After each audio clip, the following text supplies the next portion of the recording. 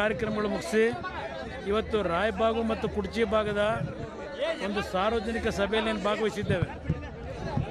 ಅತ್ಯಂತ ಒಂದು ಬೃಹತ್ ಸಮಾವೇಶವೇ ಇವತ್ತೇನು ಏರ್ಪಾಡಾಗಿದೆ. ಬೆಳಗಾವಿ ಜಿಲ್ಲೆಯಲ್ಲೂ ಸಹ ಈಗಾಗಲೇ ನಮ್ಮ ರಾಜ್ಯಾಧ್ಯಕ್ಷರು ಇಬ್ರಾಹಿಂ ಅವರು ಕಳೆದ ಎರಡು ತಿಂಗಳಿಂದ ನಿರಂತರವಾಗಿ ಇಲ್ಲಿ ಈ ಭಾಗದಲ್ಲಿ ಪ್ರವಾಸ ಮಾಡಿ, ಹಲವಾರು ಪ್ರಮುಖರ ಜೊತೆ ಚರ್ಚೆ ಮಾಡಿ ಇವತ್ತೇನು ಒಂದು ಪಕ್ಷದ ಸಂಘಟನೆ ನಡೀತಾ ಇದೆ. ಈಗಾಗಲೇ ಕಳೆದ ತಿಂಗಳು, ಈ ಒಂದು ಎರಡು ತಿಂಗಳ ಹಿಂದೆ ನಮ್ಮ ಪ್ರತಾಪ್ ಪ್ರತಾಪ್ ಪಾಟೀಲ್ ಅವರು ಪಕ್ಷಕ್ಕೆ ಸೇರ್ಪಡೆ ಆದ ನಂತರ ಈ ಒಂದು ಸಭೆಯನ್ನು ಅವರ ನೇತೃತ್ವದಲ್ಲೇ ಮಾಡಿದ್ದೇವೆ.